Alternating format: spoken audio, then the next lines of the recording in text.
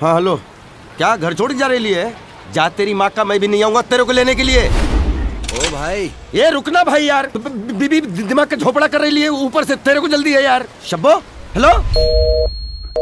अरे किसने ये डिब्बा बनाया इसकी बहन का पति? भैया जी नौकरी मिलेगा? सिर्फ़ दो ही महीना के लिए। दो महीने का पच्चीस हज़ार रुपया। अरे यार यहाँ सड़क पर भीख मिल जाती है छोकरी मिल जाती नौकरी वोकरी नहीं मिलती। अरे बड़ी बड़ी बातें हैं। अकबर अगर शर्मिला नहीं मिली तो मेरी बैंड बच जाएगी। बड़े बुज़ुर्गों ने सही कहा है। धंधे में दोस्ती नहीं करने का वरना एल चौवालीस लग जाते हैं। फिर लग गए।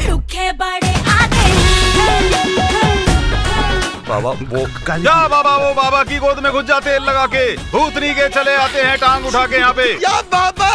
बाबा आप तो पहुँचे हुए फकीर हो बाबा। आजा बाबा की गोद में बैठ के दूध पी ले। अच्छा है विलियम भाई तेरा प्रॉब्लम खत्म हो रहा है मेरा भी प्रॉब्लम खत्म हो जाए बस ये चाचा को मरने के लिए मेरी टैक्सी सामने आना था। बुड्ढा अपने घर से लापता है। उसे घर पहुँचाने वाले को अच्छा खासा इनाम मिलेगा। हेलो जिस बुढ़े का फ़ोटो पेपर में छपेला है वो बुढ़ा हमें मिल गया। क्या? पप्पा मली गया। इनाम कितना मिलेगा हमें? पचास लाख रुपया।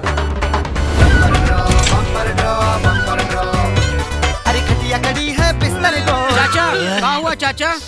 सफोकेशन। कौन सा स्टेशन अपने दुखों का खद्दर रोड अब खत्म होने जा रहा है और खुशियों का फ्लाई ओवर आने जा रहा है। टूटी फूटी में मेरा कितना हिस्सा? जोड़ जोड़ अबे कुत्ते की तरह मुँह खोल के क्या देख रहे हो? आराम खोलो। पचास में से पाँच मांग रहा हूँ। इससे पहले कोई बेगानी शादी में अब्दुल्ला बन के टपक जाए। चाचा को लेकर निकल लेते हैं। मौला जोड़ जोड़ मौला जोड़ जोड़ जोड़ जोड़ मौला जोड़ जोड़ मौला वो कहावत मशहूर है ना? लक्ष्मी दरवाजे पर होती है और बदनसीब इंसान मुँह धोने गया होता है। लेकिन यहाँ तो साला ये ब्लू शर्ट ये हगने गया था। फारूक हाँ। फॉर गॉड सेक कौन से? Bumper draw bumper draw bumper draw